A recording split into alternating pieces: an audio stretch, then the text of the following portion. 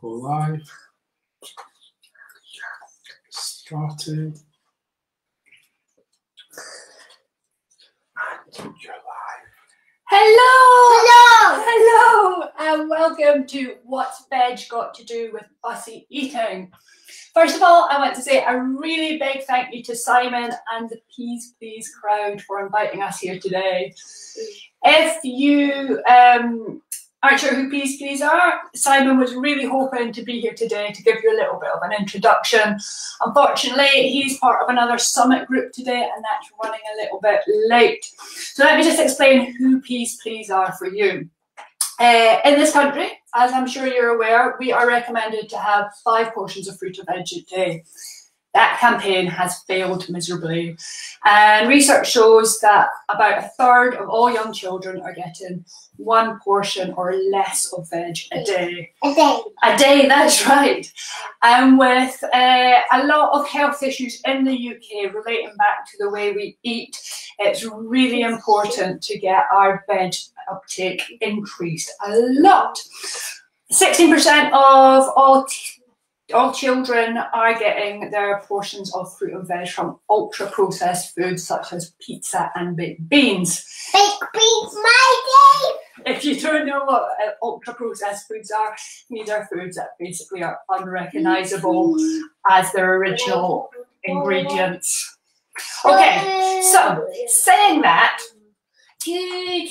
we are working with Peas Please. Peas Please look at the whole food system to try and encourage people to eat more fruit and veg. They look at the way it's farmed, they look at how it gets to the supermarket and how that is brought to you and how we can encourage people to eat more. And that's why we're so proud to be part of this summit today. But what does veg have to do with fussy eating? Well, if you're here today you probably know it already. I'm presuming you're all mummies and daddies. How many of you actually today watching are parents and have young children? I am looking at my camera here. It's got a bit of a delay, so I apologize if I don't react instantly. But if you have young children, hit the like button or just let me know if you've got children.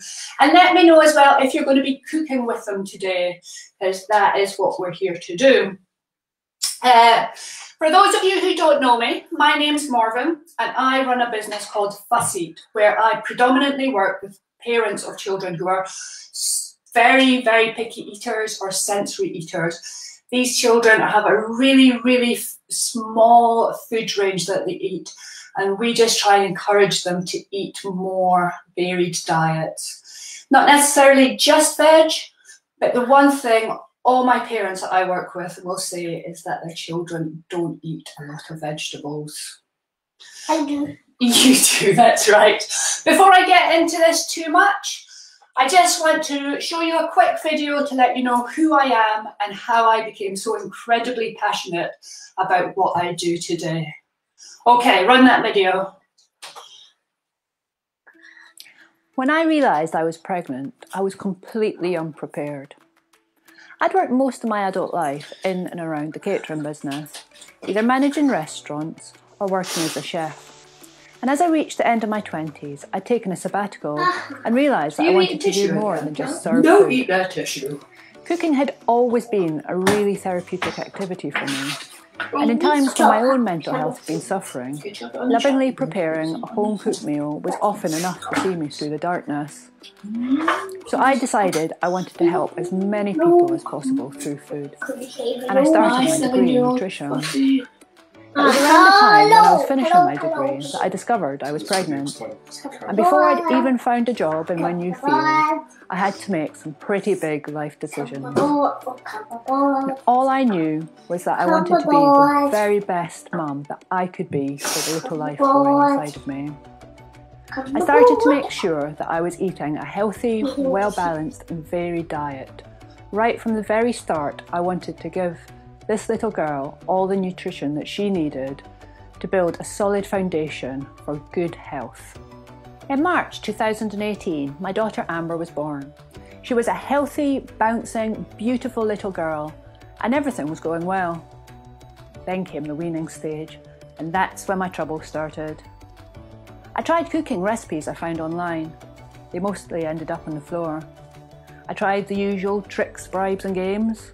She just dug her heels in deeper. I became completely obsessed with reading every research paper, kids' nutrition book, blog article, and piece of advice I could find on any and all of the mummy groups out there. I really had no idea which ones were good advice and which ones were utter nonsense. I felt like an utter failure, and I found myself asking what was I doing wrong? How could a trained nutritionalist fail so miserably? With my confidence shaken, I knew I needed a different approach, something that leveraged all my training and experience, which is when it struck me I'd been through all of this before. While I was studying, I'd been working as support staff for a group of adults with ASD. You see, many of them had extreme picky eating habits due to anxieties around food, sensory issues, rigid eating routines, and the fear of the unknown. This caused them to regularly refuse food. And although their reasons for doing so were extremely complex and diverse, I had helped them overcome their anxieties and expand their eating ranges. That's when I realised that I could do this. All I needed to do was help Amber gain her trust and confidence around these new foods and make mealtime fun, just like I had done for my service users. And even though I was constantly stressed, frustrated, and completely exhausted, I knew I had to give Amber 1000%. I had three simple goals. One, use games and activities to build trust and confidence and familiarity around new foods. Two, create tasty, healthy meals that were quick and easy to make and could be batch cooked and frozen for the days when cooking from scratch wasn't an option. And three, devise strategies to deal with the inevitable mealtime tantrums. The result? Stress free mealtimes and a thriving daughter who loves to eat healthy food. Now, obviously, this didn't happen overnight. It took several months of trial and error and a lot of frustration to get to this point. But now I've refined the process, and with the help of so many amazing mums that I've had the pleasure to work with, I've developed the FED method. It stands for Familiarise, Educate and Develop. And it's all about giving you the tools, strategies, and confidence to get your little humans eating a varied, balanced diet so, so they can thrive too.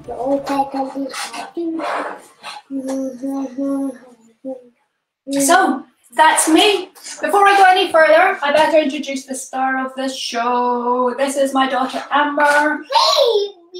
And she is my reason why I do what I do and why I am here today. I believe personally that all health starts with good nutrition, not just physical health, but mental health and social health. And that's why I'm so passionate to make sure that she gets the best start possible for future health. Okay, let me tell you what we're going to do today. I am going to cook these foods here. Basically, research shows that children are more involved in the kitchen and more involved in the preparation of food are more likely to eat those foods later. Also, children that know how to cook are more likely to grow up to be healthy adults, and that's why we do this. The foods that we prepare are fussy friendly meals, okay? And it means while your children is preparing the meals, they're going to become more familiar with things like this. So the next time you serve them up, is that a cucumber? No. What is it? A courgette. Good job. So the next time you serve them up as part of a meal, they're more likely to eat those foods because they recognise it, they've built up that familiarity and the trust. And they might think, well, it didn't taste that bad when we made those fritters. Maybe it's okay as part of a meal. So that's why we cook like this. If you like this idea and you want to learn more about the recipes we cook, click the link above. We have got a five day bake them healthy challenge on the go. So you're going to learn a little bit more about the FED method and what we're doing, and you're going to find out a few more recipes that your child is going to love. Okay, so shall we get started? Yeah. Can you lean on yourself? Thank you. Okay, so the first thing we are going to do, let me just explain a little bit more actually. I'm going to try and talk to you a little bit about the FED method.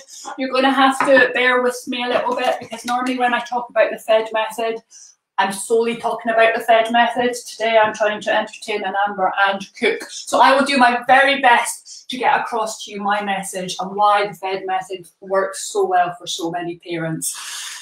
But we'll see how that goes. okay, let's just get started. So the first thing we're going to do Is- get started. Have you guys all got your recipes? Yeah? Yeah. We are going to get some oats and we're going to do a cup of oats and we're going to put them in the food processor. A big one. Yeah, big cup of oats. Mm. What I would love to see, can you put that in there? If you guys are cooking along with me, which I hope you are doing, please, please, if you feel comfortable, take Yeah, some photos and post them on the comments so we can see how you're getting on. We would love to see that. We've got a few comments come up. Gran Gran obviously is watching. Hello, Gran Gran. Say hello. Hello, Grandma. Uh, we've got Sharon who says, My seven year old daughter is fussy. I'm Yes. You are.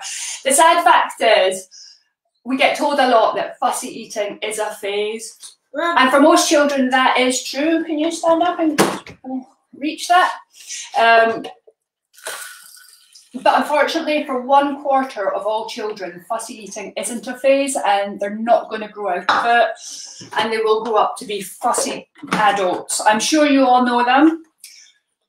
Chris Ray, if you're watching, it's you. I know you're there. That doesn't necessarily mean that they can't grow out of it with a little bit of help. You just have to have the right strategies in place to help them grow out of their fussy eating. So we can do it. Is there any more comments? Um, okay, while I'm reading the comments, do you want to press the start button? yeah. Yes. It's a little bit noisy, sorry. So, you just want this to look like flour. You can use flour, you can use breadcrumbs. You can also use things like um, ground up seeds and nuts if you want to make it a little bit more sort of healthy fats in there. Or you can add something like flaxseed as well if you want a little bit more fibre. Flaxseed obviously is great for omega 3s as well, so you can sneak those sorts of things in there. Okay, that is beautiful. So we've got our breadcrumb like oats here. The next thing we're going to add, can I get yeah? not yet, we've got to add our chickpeas in, don't we? You're just going to eat them, aren't you? Oh, you're going to add them one by one. This might take a while. Should we pour them in? I think you should stand up a little bit higher. You'll be able to reach better. Mm-mm. Can you? Oh, that's a little bit far away. The plug wouldn't stretch quite far enough today. Okay, good job. Let's do this. We'll just whiz this and then I'll explain a little bit more about what we're doing.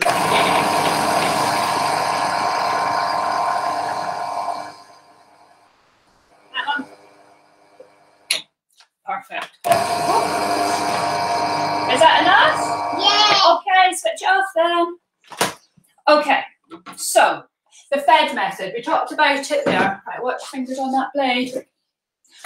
Um, familiarise is a big part of the Fed method, and I want to explain a little bit about that because that, for me, is where a lot of people see their big wins when it comes to their fussy eating, because it's uh, quite often it's things that we don't realise. Okay, so we talked a little bit about getting your child familiar with these foods through cooking. Research shows the more a child is familiar with new foods, the more likely they are to eat those foods. The number that whizzes about is 15 to 16 interactions. Are you just eating this? Um, 15 to 16 interactions with food to, for your child to start gaining trust and preferences for that food. That doesn't have to be 16 times of you going, eat a courgette, eat a courgette. Amber will. I'm not going to tempt her because she will eat this today. Yummy. And the next thing I'm going to do, if I can find my grater, is just grate the carrots and the courgettes. I'm doing it in the food processor because it's quicker. You are obviously able to do this by hand. Um, so, a great way for a child to interact with food. If your child isn't even prepared to come into the same room as a vegetable, you can do it through things like reading books. Um, research shows. Do you want to do this, don't you? Yeah. Okay, let's me cut the ends off Yummy. and then you can cut it. Do you remember how we cut it, Amber? Yeah. Yeah? Okay, I'll do it that way. So long ways. Um, research shows that children that read books. should do it long way. Well, I'm helping you. Research shows that children that read books about veg or have veg in them are more likely to eat those veg later because they've built the familiarity. Long ways again? No, long ways. I could do it Well, that's the way you need to do it because it's going to go in the grater. I'm going to help you. We had a great success with this one ourselves. Uh, we quite often read Meg, Mog, and Owl. I don't know if you guys know those books. They're brilliant. I used to read them when I was a kid. Amber loves them. Uh, long story short, one of them is about Meg's egg. She accidentally magics up some dinosaur eggs. Um, and one of the dinosaurs that pops out loves Meg's. What does he love? Her cabbages, doesn't he? Yeah. And goes into Meg's gardens and eats up all her cabbages. Again, what I want. Well, then one day I bought cabbages and I hadn't really thought about it. Um, I thought Amber's never going to eat these cabbages, not in a hundred years. I will, I will. She did, loves them, ate all of them. And then it was only then that I made the connection. It's because of Meg and her Stegosaurus eating, uh, our cabbage eating Stegosaurus, that she loves cabbages. So you can do things like that. Um, also, I hope you guys can hear me. Have you guys seen the Veg Power campaign that's going on just now? Um, okay, put that one's in. I'm just going to wait till this is finishes. It's got that for a second. Um, the Eat Them to Defeat Them campaign. Brilliant idea. For the first time, the veg people are using the fast food's own marketing strategies to get kids involved in eating food. You've seen the adverts. Hopefully, you've got the activity book in your house. I was going to bring a copy of it down here and I forgot. We need to cut the ends off. I'm just going to cut the ends off this one because they're a bit hard. Can you leave it up to now? Right, these are a great way to get kids interacting, colouring in, doing puzzles, thinking about these foods without actually having to touch them. However, if your child is more prepared to touch food, vegetables, you can do all sorts of things. You obviously know about the good old uh, potato stamps. You can use as whatever vegetables you want. Sweet, po- sweet potatoes, um, peppers. You could use onions, tomatoes, whatever you want. Okay, let's do this quick, quick. To make those pictures. Another great one. I don't know if you saw last year. My hero, uh, Hugh Fearnley-Whittingstall, last year did a program about natural health, and one of his programs was about fussy eating, and he had great success using models for children, models out of vegetables for children to interact with. We use this one all the time. It is a great way to get children interacting with vegetables. And depending on the vegetables, sometimes it can be a little bit too tempting for your little person to try those veg when they think you're not looking. Anyway, there are hundreds and hundreds of ways to get your child interacting with veg. use their own likes and hobbies. Get them interested. The only thing that uh, is limiting you is your own creativity. So get interacting. Can you put this out? Yes, but hang on. Let me speak a little bit more. The next thing we have to do is put this in a dry, clean tea towel and rinse off some of the liquid because this is quite moist and you want it to be as dry as possible when it goes into your uh, fritters because otherwise they're just going to fall apart. Okay, so let me do this. Okay, familiarise isn't just about your child becoming familiar with new foods. It's about you becoming familiar with some of the reasons why children don't like to eat. And I'm afraid I do not have time today to go into all of those reasons because I don't have time. But again, if you want to find out more, click on the link and join the five day Bake Them Healthy Challenge, and you will find out a little bit more about the reasons why children don't like to eat food, new food. I'm going to go over some of them today with you anyway, hopefully, if Amber lets me. Are you ready to rinse this out? Okay.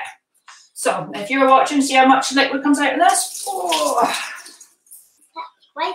It's quite a lot, isn't it? If you were being really thrifty, you could squeeze this out and make the liquid into a smoothie or something like that. And that would be really tasty. We're not doing that today, are we? Um, so, reasons why children don't like to eat. There's lots of them. So I'm going to give you my top ones um, that a lot of children will go through, especially um, young toddlers. Okay, and the first one I'm going to say, hang on, is something called food neophobia. Can you put that in there for me, please? Let me unravel it. Okay, food neophobia is a technical term. Um, it basically means a fear of new foods, and it's something that most toddlers will go through as they right, let go. Um, as they get a little bit of independence, and they move from having to rely solely on mum to toddling about, and they real they think the reason for this. I'm not sure that's the right time for stirring, Amber. Hang on. Sorry, guys. There you go. Um, the reason they think this happened is evolutionary wise, we haven't caught up with ourselves. Basically, uh, our bodies don't realise that we live in nice, safe houses now. We keep our food in fridges, it's all nicely packaged. But back in the day, when kids were more likely to be wandering about by themselves, it was actually really beneficial for them to be a little bit scared of new foods because it's what would have stopped them from going out and just eating poison berries or poisonous mushrooms or whatever they found lying about. So it was actually really, really useful in back in the days to have this fear of new foods. That means it is in your genes. If you and daddy are both fussy eaters, you are more likely to have a child that's a fussy eater. But again, with the right tricks and strategies, it's not necessarily the case that they will grow up to be a fussy eater. Another reason why children don't like to eat a lot of the time is because it's about power. Children don't have a lot of autonomy in their life. We tell them when it's acceptable to wake us up. We tell them what they're doing with their days, what they're eating, when they're going to bed, who they're going to see. And one thing that children have power over is what they do and don't eat. Okay, so give your child as much autonomy as possible. It doesn't have to be around food. It could be about what they wear. It could be about what activities you do at the weekend. It gives them choices. When it comes to food, get them obviously involved as much as possible. Give them the choices about what meals you're going to be preparing. Don't ask them outright what you want for dinner because they will go back to their old favourites. It gives them choices of things that you think are acceptable. Do you want chicken and pizza sauce or do you want meatballs? It's a big pizza sauce. chicken and pizza, obviously, right? um, but things like that, they are more likely. It's not always the case. I could give Amber a pizza, uh, chicken and pizza sauce, and she could quite like completely blank it. It I does happen. Would you eat it? Do you promise? Um, yeah. Right, let's. Do you want to do the eggs for me, baby? Yeah. Um, it's not always the case, but they are more likely to eat the foods that they've chosen over the foods that, that you choose for them. Um, obviously, get them involved in the cooking. When you go shopping, get them involved. Let them choose the foods that you're buying. Do you want small uh, small tomatoes or big tomatoes? Oops. Good effort. um, do you want small tomatoes, big tomatoes? Do you want red peppers or green peppers? Do you want What about yellow pepper? or yellow peppers? Yeah, you could have. Give them the choices. Amber does most of my shopping for me these days. I'm not going to lie. I tell her what I need, and she goes out and picks everything. Give Because them. The, I want to pick everything. that's because you're very good at it. Give them all the choices you can that you feel comfortable with. Um, when it comes to mealtime, I'm just going to add garlic powder. Okay, this is half a spoon of garlic powder. I want garlic powder. I learned quite early on to actually use the measuring spoon instead of just giving Amber control of how much garlic powder she puts in. There you go. Okay, and salt. I don't mind putting a bit of salt in Amber's food because we don't eat processed food. So I put- can I have- Okay, let me put some in your hand. You might not feel comfortable having salt in your food, that's up to you. But because we don't eat processed food, she's not getting that intake from there. Um, so, stress at the mealtime table. Stress is going to be your big, big roadblock if you've got a fussy eater. If they're stressed already for whatever reason, they want, they don't like eating they're going to be stressed. If you're stressed going into mealtime, and if you've got a fussy eater, you might find mealtimes really stressful, and that's fair. There might be a million and one other reasons why you're stressed. Um, okay, you start. I'm going to get the basil. So I think the recipe was two teaspoons. We're going to add a little bit more because we like basil. can I Um, have Yeah. Are you going to cut it for me? that? Chop it up.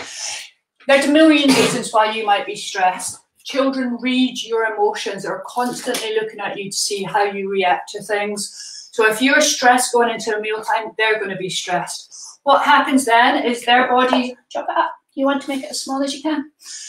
Their bodies are going to fill with, you can just rip it if you want. Stress hormones. These are your fight or flight hormones, okay? These are the same ones that your body used to use to tell you to hot foot it from the saber-toothed tiger.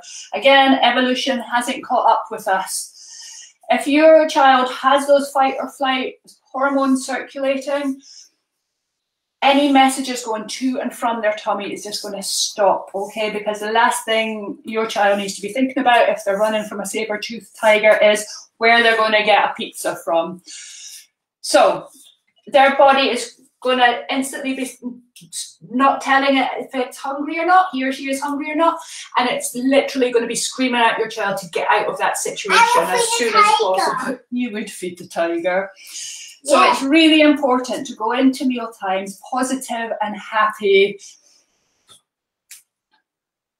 Um, I just saw a flash of comments there. No? Okay. So that is all I want to say about familiarize for the moment, guys. I it. could rabbit on about it all day, but let me show you a video from one of the amazing mums that I've had the opportunity to work with over the last few weeks.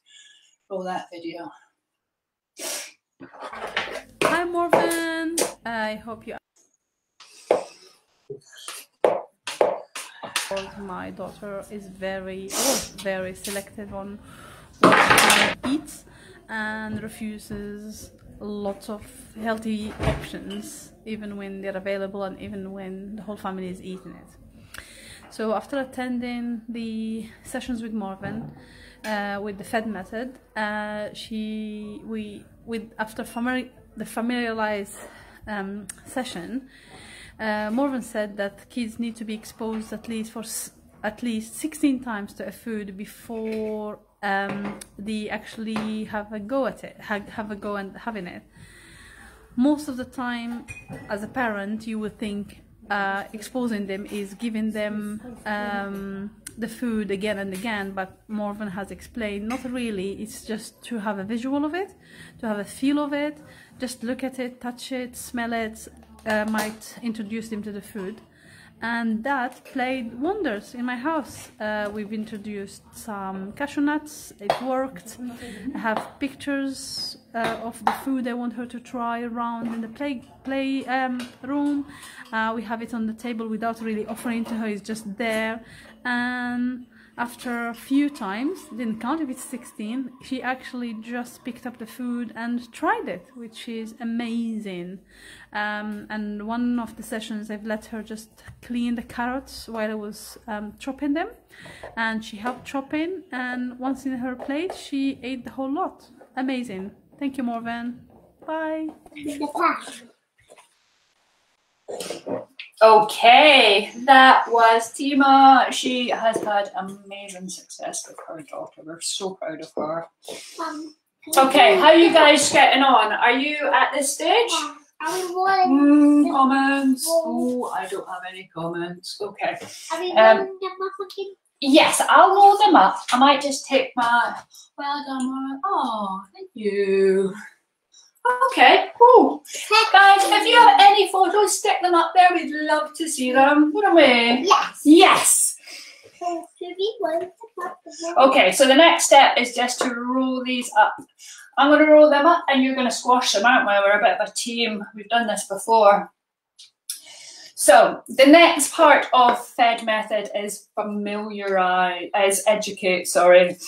So educate is all about giving you the knowledge that you need to make empowered, informed choices about your child's health. I'm not going to go so much into child nutrition today because that is not why you're here. But what we talk about through Educate is a little bit about the nutrients your child needs for cognitive development, so brain development, for good immunity, for bone health, and for good gut health, as well as the basic macronutrients that they need. Because for me, as a mum, it's the most important thing I can do for her future is setting her up with good immunity or good health. There we go. I think you'd be better doing it on there and then putting them on there. No, that's not what you want to do. We might need a bigger. Well, why don't? Oh, you do what you want, and then I'll figure it out. Um, but it's not just about child nutrition. It's about how to get those nutrients into your diet in a varied and accomplished way. But it's also about how to give you the tips and strategies that you need to to to fit those into your schedule. Because I am very aware that I am extremely lucky. I work from home. I love cooking and I get to work with my daughter all the time. Yay! it's cute, isn't it?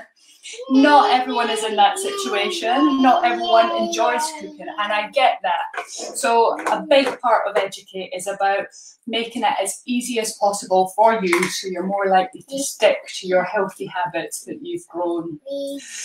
Again, I'm not going to talk too much about it. I'm going to just play you another little video from one of the mums that I work with. This is Abby, and she's talking about her son Oliver. Hi, I'm Abby and I'm mum to Oliver, who is two and a half. I've found the Fed method to be incredibly helpful and useful in in tackling fussy eating with my my little monster. Um, the Fed method has really empowered me with um, a lot of knowledge and useful hints and tips into how to get Oliver involved with with food without without the pressure of making him eat it. Um, Morven has been incredibly supportive, um, and she's she's so knowledgeable. She's you know she's full of useful tips and ideas on how to how to help the situation, how to make it low stress, and celebrating those little wins as well. You know, maybe he didn't eat the food this time, but he played with it and he thought about eating it, and that's progress and it's about celebrating those little progresses and continuing with the method. The Educate module I found Okay, that was Abby. Abby is another incredible mum that I've got to work with, and she's done so well with her little boy. So well done, Abby. Okay, we are getting on with these fritters. We've just about got to the bottom of them. The next part of of fed is develop. Right. So you have got through to your child for the most part, and you have them eating some things, but there is going to be tantrums, there is going to be mealtime drama.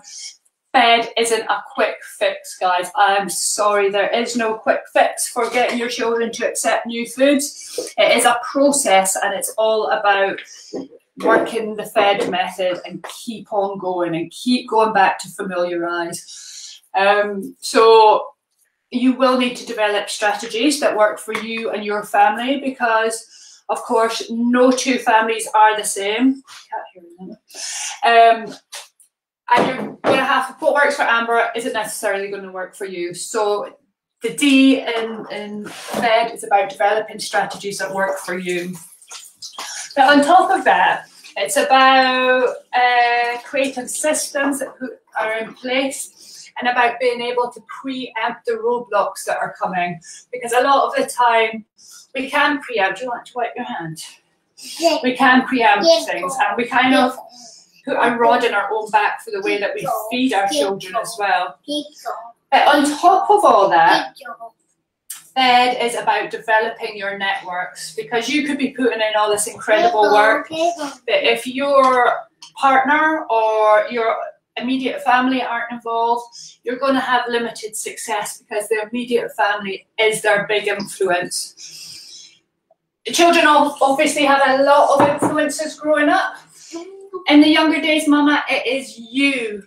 As your child grows up, it's going to be your immediate family and then your larger family, and then there is other. Are you going? She's done now. What are you doing? Can you just hang out for a bit? Why don't you no finish your snack? Amber's already on the pre-made ones. Um, I'm just going to start cooking. Um, so it's about developing strategies that are going to work for your family and figuring out the influences that your child has. A big influence at the minute that a lot of children have is social media. It's a really hard topic to, to overcome, unfortunately.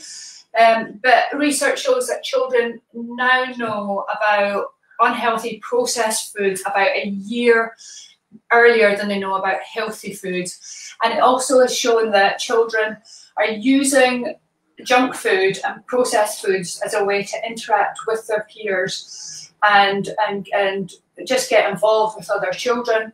Children that eat healthily are generally thought of as being boring or or not you know cool to interact with. So we need to get that message out to our children and get them understanding that that's not how it is at all. Okay, so that is your big influencers right there. So the more you can get your networks involved and make healthy eating the social norm, the better it is. Amber, I need to use the cooker now, so you need to not be hanging on me.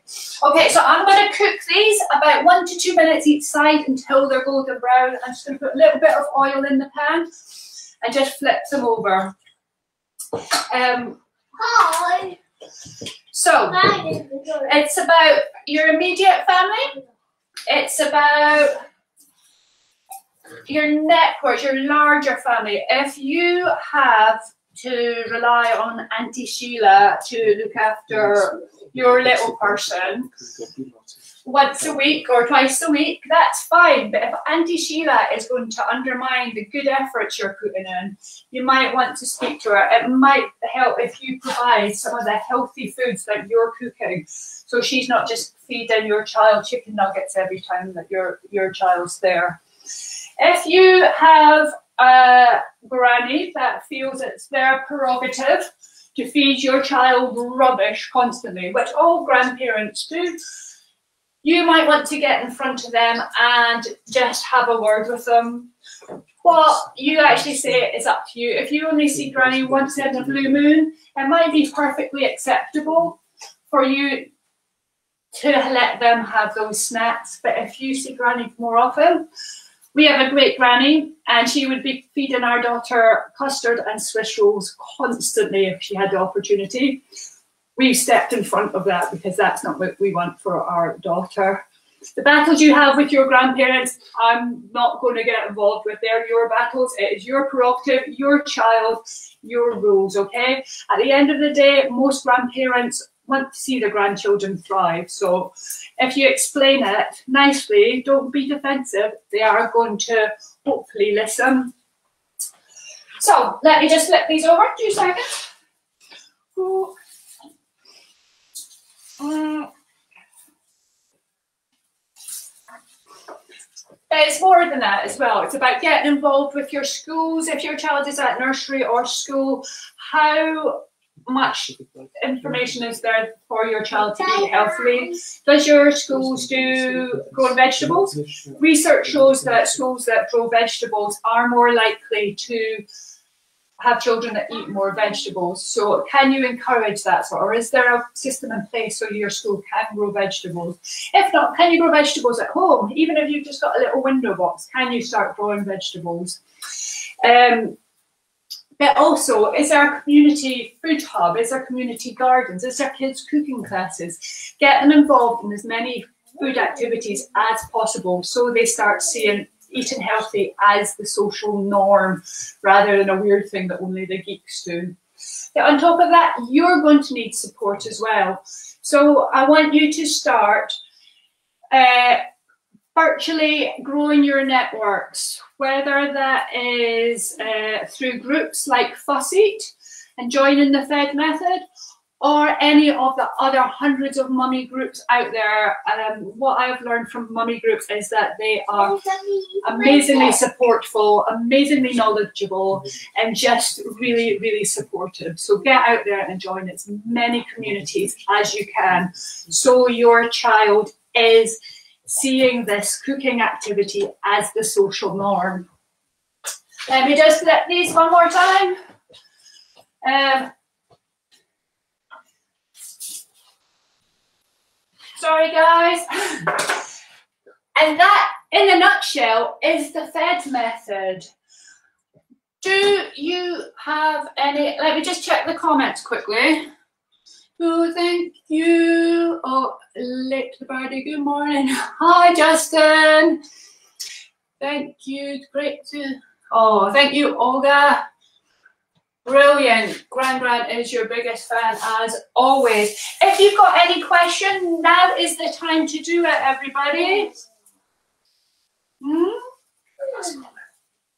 Oh, daddies too, please. Single dad. Yes, absolutely. I generally talk to mummies, guys, and I'm really sorry about that because, on the whole, it is mummies that have these concerns. And I'm sorry, daddies, if you're watching it's generally mummies that I talk to, that is my audience. But you guys too need to get involved because you are just as big as influence on your children as mummies.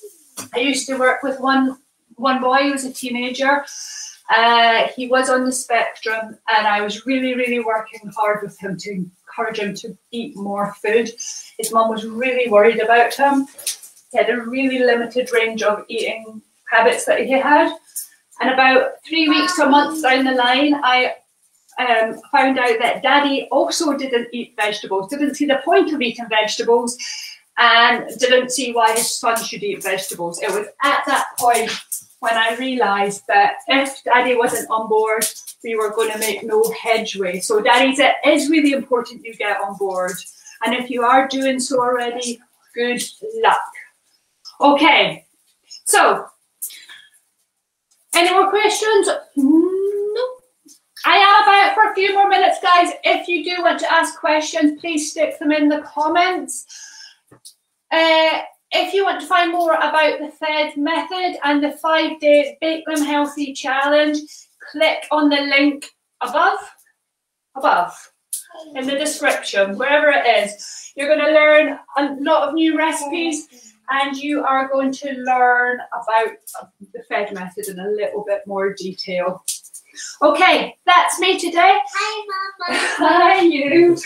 Here are our finished product. These are the ones that we pre-made. You can serve these up however you like, um, with whatever sauce it's going to make your child eat them. I think we're going to have ours with a mint and yogurt dip, but however your child's going to eat them is absolutely fine. Amber's already started on these ones, so thank you very much for joining us today, and hopefully we will see you soon on the challenge. Okay, bye for now. Bye, bye, bye.